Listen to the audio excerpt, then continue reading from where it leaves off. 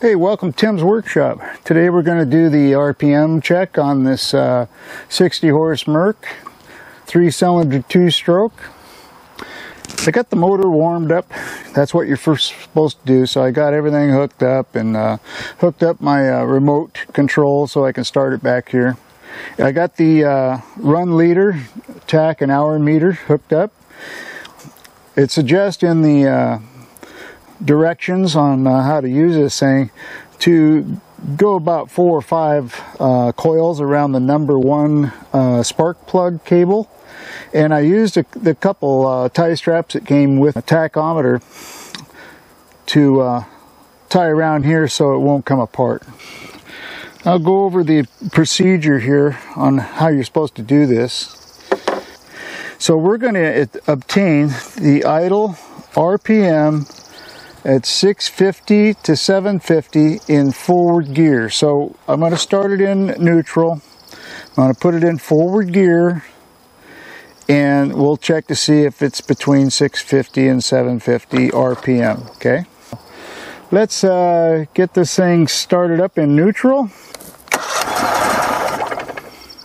Choke it a little bit.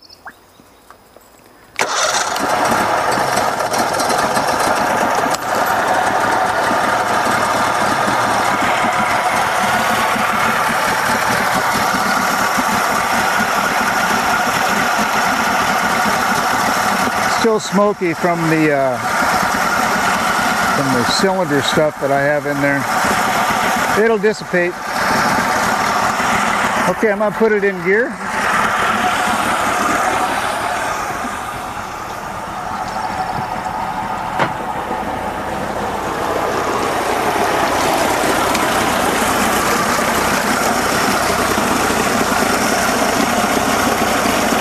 We're at 600 RPM. 590, 600, right around 600. So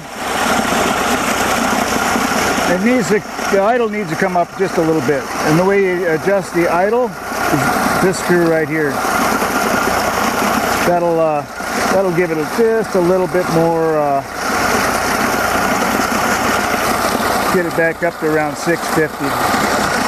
And that's how you do it. Alrighty? First we want the idle set at uh, 650 to 750. Right now it's a little low, it's at 600. Now I'm going to clean these uh, spark plugs uh, because they're still fighting a battle with the, they're fouled because of the oil I put in there for the uh, storage.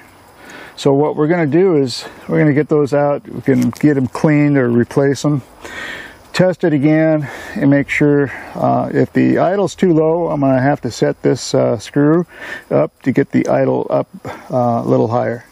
Once I do then tighten it down it's set. Now we have to play with this throttle cable and there's a adjustment back here so you can adjust it in and out. That'll bring this back uh, forward so it'll slide onto the pin. So what you want is once that's on there, the, uh, you want just a bit of hair gap between this uh, the stop here and the screw, okay? So you can slide a piece of paper in there with it hooked up at the correct idle. And that's how you keep a preload off your, uh, your adjustment there. Alrighty? Well, I got the spark plugs, brand new. BP8H-N-10s. Takes three of them. Right here. Spark plug type for 50, 55, and 60 horse. Mercury uh, two-stroke, uh, three-cylinder motors. It says over here NGK uh, BPZ, no,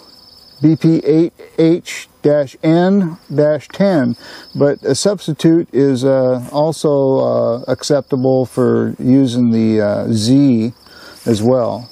It says uh, down here 50, 55, 60 model, serial number that number to that number came standard with NGKBU 8H spark plugs. The NGKBP 8H-N-10 can be used on these models. And they're a suppressor resistor spark plug, okay? And up here it has the other information up here, full throttle, 5,000 to 5,500 RPM, idle timing uh, 2 to 6 degrees above top dead center. Uh, idle RPM in forward gear, that's what we're doing now, is 650 to 750 RPM. All right? All right, let's start it up. Make sure it's in neutral.